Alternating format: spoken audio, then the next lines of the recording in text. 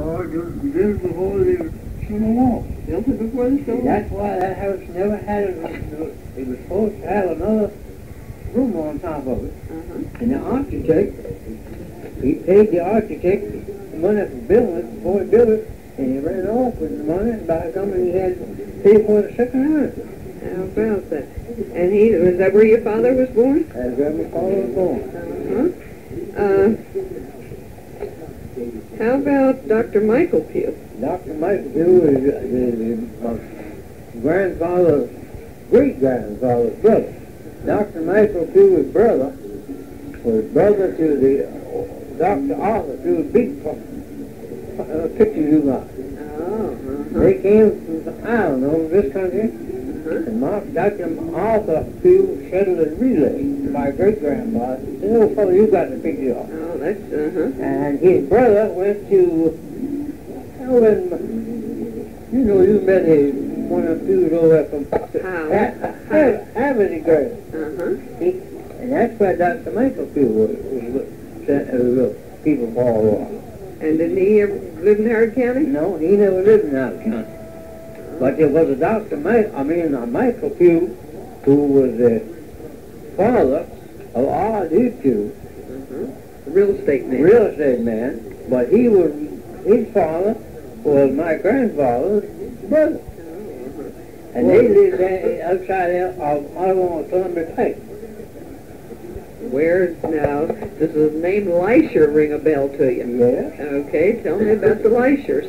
That's what, Well, they were- House. uh, They were storekeepers, Uh-huh. and they washed away the flood, the eighteen something.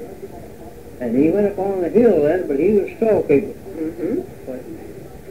My grandfather saw, he dealt with Doc, with Elijah, Mm-hmm. the uh, storekeeper, Mm-hmm. and he saw him a couple of days later, he lost everything he had. He met his wife and his family. Only had one daughter. Mm-hmm. and she was up in West Virginia on a visit, and she was the only one they thought uh, that Elijah found that it was safe from the flood. Mm-hmm. And she married a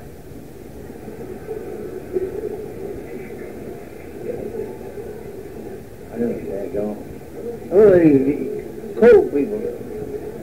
Well, it doesn't matter. Well, do you know anything about Dower House? Does that ring? Dower House. Now I never heard of that. Bethesda. Bethesda House. No. No, This lady seemed to think those were the same Well, names, those places. They would have been. Well, then, and she was wondering, they'd say that there's, uh, where these Leischers lived, an old soldiers' burying ground. Did you ever hear that? Yeah. Okay, where was that Well, located? that was Elijah's place. You you don't want to come to fight. Mm-hmm. Over there and very far from from uh, the co- country. Uh-huh. And how about Henry Hillpugh? You ever hear him? I never heard of Henry Hillfield. Mm-hmm. Henry Hillpugh.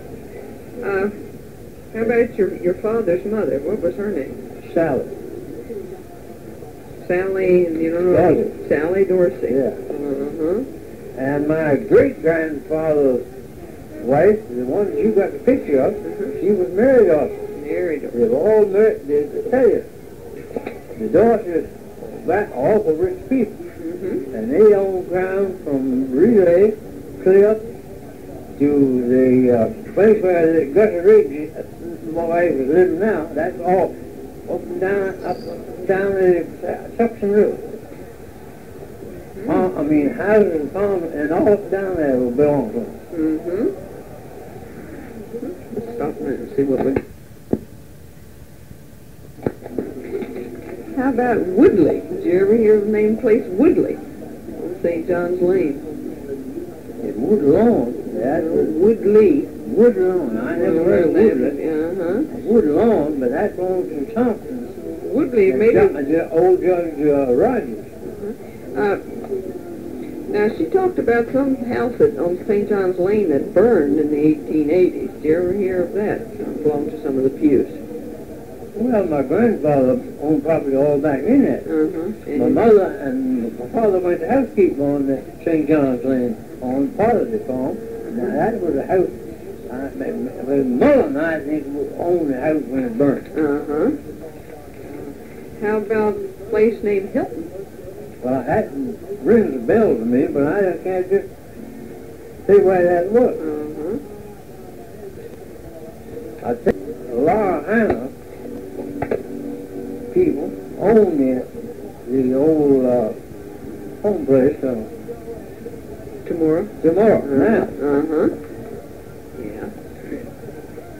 How about uh, Gray Rock Farm? Great rock Now, who farm. lived on that now? That- that- The, uh, my grandfather never lived on it. I mean, it my great grand, but the daughter did live on it. Uh-huh. And his wife, he got that my Green Rock farm from my wife. Estate. Uh-huh. Who was she? She was a Salvador. So, uh-huh. And then who lived on the Gray Rock Farm that was related to you? Uh, I don't know any of, my people lived on the Green Rock farm. Well, who lived there when you got that furniture from there? He wasn't on that. Oh. He was out over on Zamora. Tomorrow. Oh, it was My just aunt, made there. My aunt had it, Mhm. but it came from that over there. I see. Uh-huh. Um, is there anything else I wanted to ask you? No. She seemed to talk about a Michael Pue that never married, a bachelor. Well, there's a lot of bastards in there. My grandfather, I mean, my grandfather's brother, Uh-huh. He had several. I said, what Michael Hughes is never married. Mhm. I was looking through, well, I have there, it's in a notebook, I guess your mother pasted it out, the Dorseys of Maryland. And they see down there a Richard Ridgely Pue, that must have been who you were named for. I was there when a doctor, Richard Ridley, too. Uh-huh. He was my uh, uh, grandfather's brother. Oh, He had several brothers, I mean, he married. Mhm.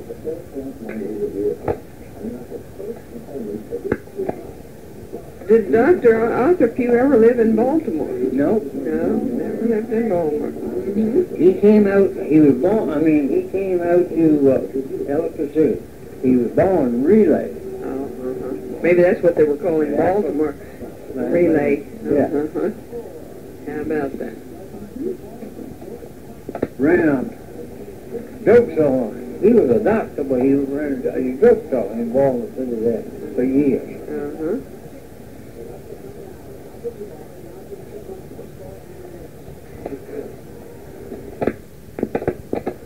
This was recorded on February 3rd, 1980.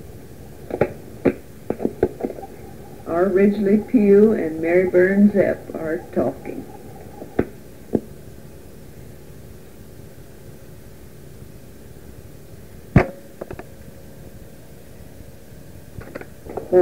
That was it. In the Civil War, was a big I'm a doctor in the War.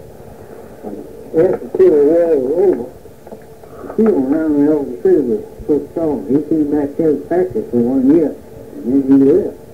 And went to Texas. He had two brothers already living there. And that's why some of them went to Texas. That's right. They went to Texas before the Civil War. Oh, I see. So that's why my father went down there. He was been down there and met. And he and this brother, Willview, Dr. Willview, they back together for five years. So you talk about how to live. Right. Tell me again now uh, about your parents when they got married, that where your father farmed. he farmed the north and the top there, there was the that they called Woodley. Woodley, uh, next to join Right, and uh, they it when your parents got married. He was farming when my parents got married, yes. Right, and they stayed there until, My grandfather died. right, and after that, They came back in Howard County, up up in the house County. you were born in 1889 That's right. near Lisbon. Yeah. Right. Tell me the story about the man that you were named for. He was my great uh. My doc- father's uncle. What, what, was, his name? Richard Ridley Pue. And where he lived where? He lived in Baltimore. I don't know just why he lives in Baltimore. But he would come out He'd come out and after he was old and retired, He'd come out and spend the summer with my father and, and on the farm. And he lived on the farm. Right, and then after he died, he left your father some, Five thousand dollars. right, and you were the, First born, boy born after. and that's why you were named Uh, very, for him. Okay. I Every time you take a did in the army now. So you used the name Richard in the Army, but you usually went by R. Ridgely R. Street? raised a few. Only that, and um, commercial motor vehicle. I had, uh, if I get a letter today, Richard a few, I know it either comes from the government or the commissioner motor vehicle. Because you usually, were, what, Uh-huh. what did they call you? R.R. or Ridgely? Uh, the army, No, your friends. What did your friends refer to you as? What name? within. I had a cousin born my uncle old house. And he was born before my uncle was died. And he was named Richard Rinser. So when I came, I just, Oh, you, you dropped the Richard, so it wouldn't be confusing. it. You had a cousin with exactly the same name. Family, Richard? named Rich- Oh, my goodness. And he, he probably got five thousand dollars from the uncle. and your uncle was a bachelor, so he No, had... my uncle was. No, your uncle, uh, you were named for. Yeah, yeah, he was a bachelor. Right. I didn't going to say my uncle over house, he had fourteen children. Oh, no. he wasn't a bachelor. and you farmed your whole life then? Yeah, I him my whole life. And you went to school at a little one-room schoolhouse near Cook. Cooksville. Cooksville. Cooksville School. Okay, tell me again about the cemetery at Lisbon. What happened? Well, the old cemetery there, I'll tell you more about that now because the principal of the Howard County School was Mr. Phillips. Yes? And I was in Joe Donovan's office. I'll never tell you this not, but well, I was in Joe Donovan's office one day. Now, who was Joe? From, uh, lawyer, you know. Okay, Donovan. Donovan, Joe Yeah. Donovan. And Phillips was in there, and Phillips asked me if I knew anything about this old church at Lisbon. And I told him what I knew, and Joe Donovan said, well, if that's the case, if you wanted the ground for the county.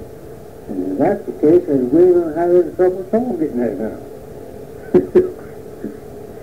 I don't know whether that is recorded, to be recorded or not, Oh, that's all right. Uh, well, then the the county got the land, yeah, right. and the church was falling down, or was it People have gone there and hauled stone out for building barns and everything like that. was it a stone church? A whole stone church. And people, uh, nobody was using it. Nobody was using doing it, don't to nobody. It had belonged to half a dozen congregations. And nobody had anything to do, it. Nobody owned it anymore. I don't anymore. And then when the school system built the, was it an elementary school they were building? I, I made a high school and elementary school both there first. And then they just tore up the tombstones. And so up the, so I was told now. Yes, So up the tombstone that was buried, buried in the ground. right. And so the cemetery just disappeared that way. That's. Right. And that's where you, then you, uh, did you ever go to that school? You were a No. man by then. was before I, That was after you I had grown up. I didn't go anything but the Cooksville School. Right. Cooksville, uh, one-room schoolhouse. That's right. And it's gone. And it, it, yes, and the family living in what, what house they built. And they built a house, the old schoolhouse. They first tore it down and built a new schoolhouse. Right. And then they stopped keeping school in it and sold it to a family living in it. And that's why I was trying to break down.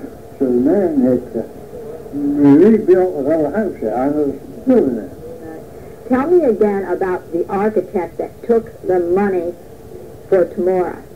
Well, I don't know. Your grandfather had paid him He for the, paid in advance. and then he was to pay all the workmen. You pay all the workmen and all the material and everything went in there. You're doing the uh, uh, memorial. And they built the house, and the architect disappeared with the money. You disappeared with the money. And Didn't finish it. And that's right, you said they were going to build what? Another building on top of it. Another floor. Floor on top of it. And they didn't finish it then. No. With that floor. finished. The- Completed what they did on top of it now, but it never was what they Wasn't as big as it was was before. supposed to be in the beginning. And, uh, so your grandfather had to pay twice for that house. Seventy-five thousand dollars. He had to pay it twice though, once to the architect and once to the workman. You don't know the name of the architect? No, I don't know, History said that it was a Starkweather. Did you ever hear that name? no. Starkweather? That was supposed to be the, See, that all happened before the Civil War. right, okay, I told on my niece like that, right. my, my lawyer did, he was down in City that time. Right. And Mr. Liza stood up on the railroad track and saw his house washed away with his wife and family and all his children with one daughter. And didn't Dr. Owings have the same thing happen to him? Orange, orange, Owings was the name. orange, orange. There was a Dr.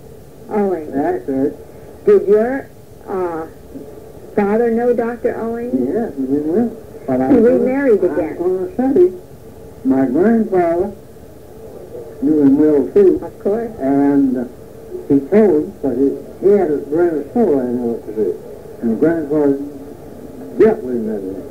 And he told him, my grandfather wrote after coach, he was completely washed out, he had nothing to live. And he told me, well, I'll let you know. Wasn't that something? When your grandfather died, Dr. Arthur Pue, who did he leave the property to? Do you know? Well, you mean the more? Yes, He left it to his old dog, Achsah. Actively. Right, because she had taken care of him. Yeah, the truth. And then Sally Harrison, Hannah Harrison was our older sister. and she came home to live with Yeah. her children. Yeah. And then your Aunt Achsah left Tamora to those nieces. That's right. And then did they sell it They sold it to Herbert. Okay. Yeah, yes, Herbert. No, Um, uh, Herbert's pe- people, but, uh, I, uh, I know Breckenridge Hannah, that's it, Hannah. to the That's Hannah, it. Hannah, you see, Mrs. Herbert, or Mrs. Hannah was a Herbert. Herbert, right, and they owned Grey Rock Yeah, they owned Zero, too. Farm. Uh, when this is, Palmer. Don't, don't, you- you don't want that Good. oh, what the rat, the black cat, the black rat,